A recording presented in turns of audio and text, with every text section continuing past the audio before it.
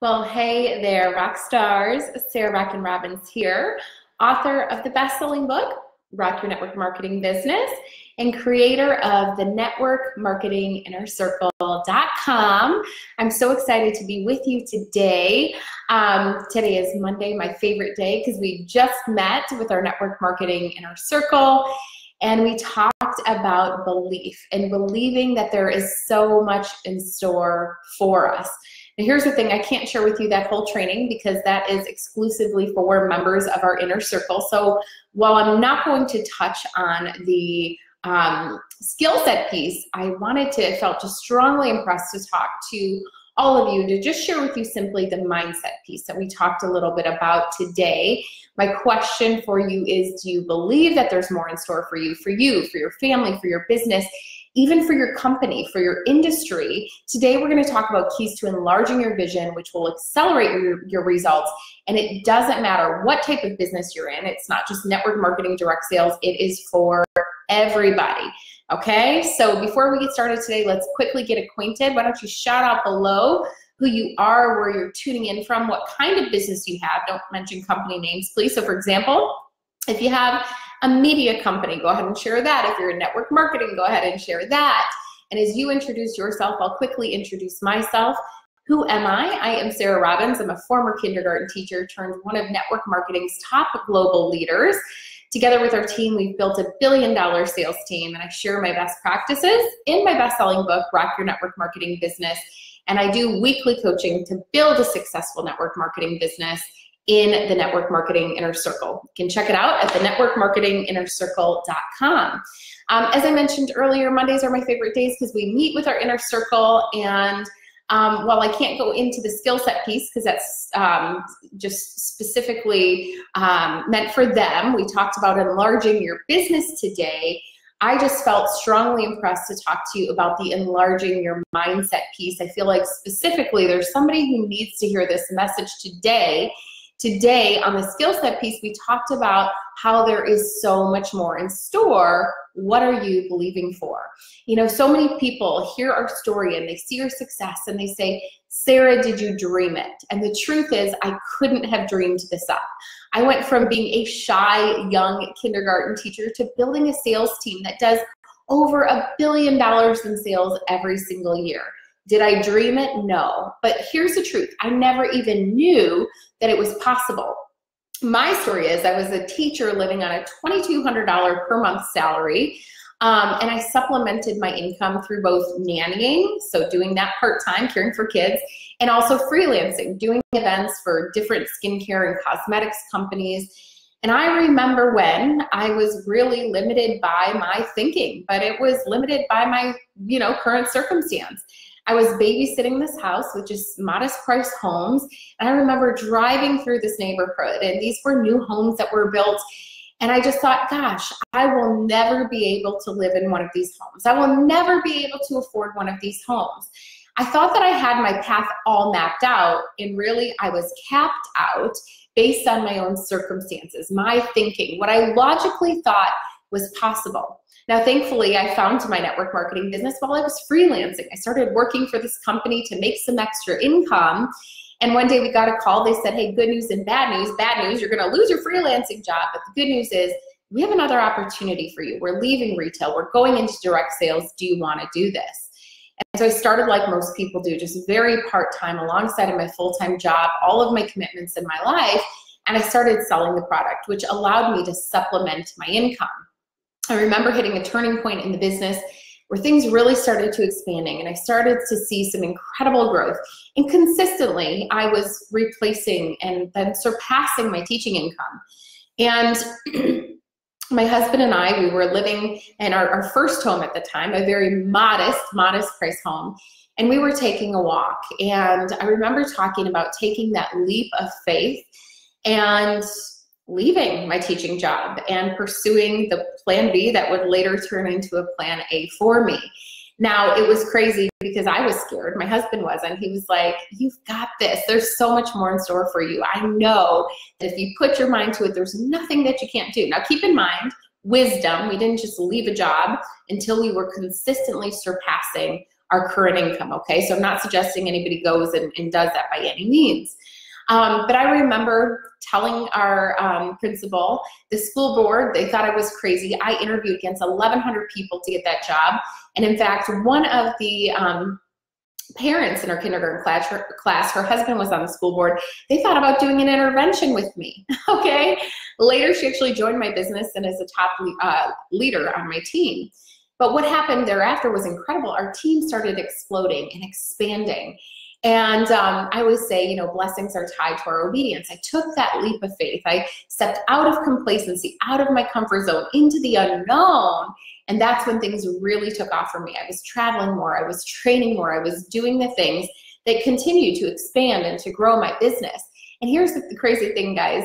I went from thinking that I would never have a nice home to gifting our very first home, our starter home, to a family in need. And it's such a cool story when we were moving out of that home into one of our dream homes in Michigan, um, there was a car that just happened to be driving by. And it happened so quick that um, we didn't even put the house up for sale. My husband tells the story in his book, The Secret Garage. And it's such a powerful book. I recommend every business owner gets it. I don't care what business you're in, The Secret Garage. It is powerful, really spiritual success principles to accelerate your life and business. And this couple's driving by and they're like, hey, are you selling your home? We're looking in the neighborhood and we're like, well, we didn't know if we want to sell or rent, but you know, I guess. And they ended up renting from us for several years and they were so faithful. He had a debilitating illness. The wife was working hard to make ends meet and they were so faithful in caring for our home. Well, long story short, they ended up renting. And one day, several years later, my husband and I were talking and I was like, hey, God put something on my heart. He's like, me too you go first. And I shared, hey, we're to gift that first home to this family. They've been so faithful. And he was like, get out of town. I've been feeling the same thing. So we called him around Christmas time. I'll never forget and said, the house is yours. So isn't it crazy? We went from thinking we would never have a nice home. And by the way, people told us to foreclose on that first home because of what happened in Michigan's economy. All the homes were upside down. And um, we were in a crazy mortgage at the time because we had, hadn't even found our business yet.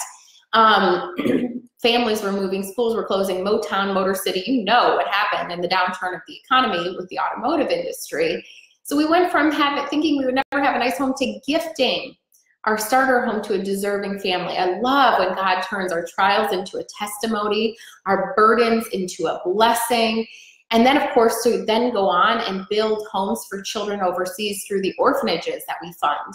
You see, you guys, here's the thing blessings are tied to your obedience. But you have to first be obedient and you must believe that there is more in store for you and for your family. There was so much more in store for us. I believe there's more in store for each and every one of you that are listening today. But are you willing to move out of the camp of complacency away from your comfort zone into the unknown?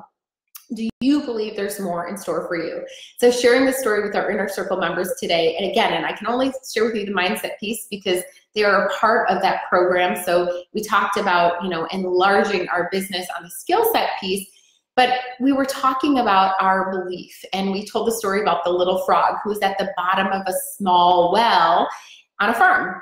He and his family lived there. He was content to play there. He swam around all day he just thought, you know, life doesn't get better than this. It's I have exactly what I need.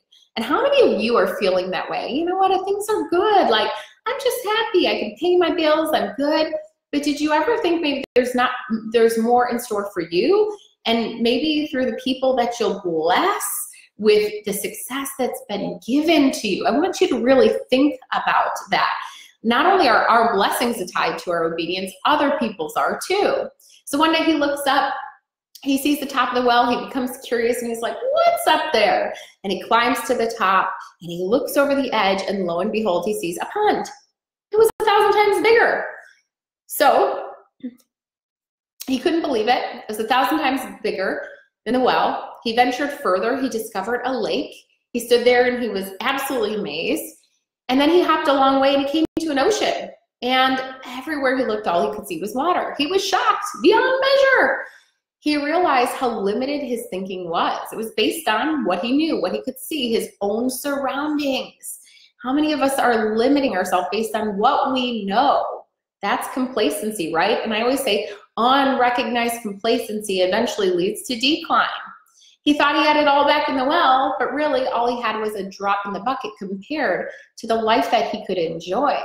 The dream for your life, guys, it is bigger than you can imagine. If you were to see everything that was in store for you, I think God doesn't show it to us right away because it would just boggle our mind. But here's the thing it's like the Moses and the Israelite story. They had a promised land, they had a promise, something that was promised to them, but most of them didn't make it despite the provision, despite the, the protection, right? They were just focused on what they knew, not what was ahead. So, so many times we're like that little frog, we're enclosed in that well. It's our comfortable environment, it's how we were raised, it's what we know, it's a certain way of living, a certain way that we've been thinking but there's so much more in store for us today. So I want to encourage you guys today. If you're in business, if you're anywhere you are in your life today, even in your career or in your job, to dust off that dream board, revisit your why, why you're doing what you're doing. You know, what does the extra time and finances mean? How will you live? How will you give? encourage you to go a bit further than you've gone before. Dare to dream big and look over that edge. And remember, there are oceans for you to enjoy. I want you to think about your why, you know, why you're doing what you're doing. It is so unique to you. For me, it's building orphanages overseas, funding um, children's education programs here and abroad. And that is so unique to me. You might say yours is um, international adoptions. Why is yours different than mine? I believe God gives each and every one of us a unique gift. So if he gives it to us, why wouldn't he give us the provision, right? He brings opportunities across our path. He, get, he introduces us to the right people. If you step out boldly in faith and expect the best and move forward with confidence and obedience, knowing that you're well able to do the thing that he called you to do, imagine what could happen to your life. Or will you shrink back in fear and just say, oh, that's too big for me. It's like Joshua and Caleb, right? They go into the land and they're and, and the other spies are like, oh my goodness, you know, these giants, they're so big. It's different than what I know. They shrink back in fear. But not the two. They went two out of a million who inherited the promise. You know, so you are you saying it's too big for me? There's giants over there. I'm not qualified. I can't do that. God doesn't call the qualified, He qualifies the called. He's looking for somebody who's willing and able and obedient. That's it.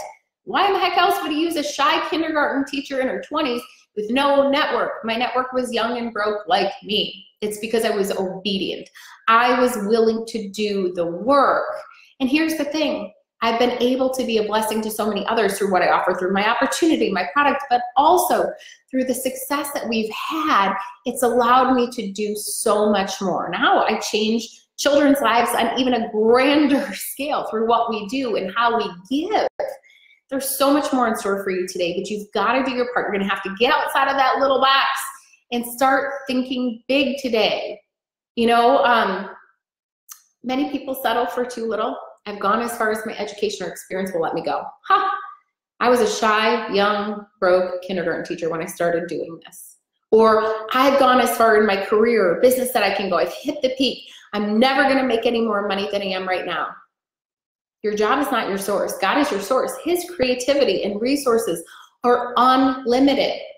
I even heard somebody, and I believe their intentions were good, talking about, you know, caps on an industry or um, certain seasons or, you know, in a company. I'm sitting here going, our greatest days are ahead. We are not limited by what we know or by what we see. But we have to stir ourselves up, step out of complacency, and not being satisfied with past glories. So I want to encourage you guys today. Like I said, we met with our inner circle today. We talked about the skill set piece of enlarging your vision. I just wanted to share with you the mindset piece. I just felt like somebody needed to be blessed by this. There's so much more in store for you. But here's the thing it starts in your mind. The battle's in your mind. You have to believe for bigger things.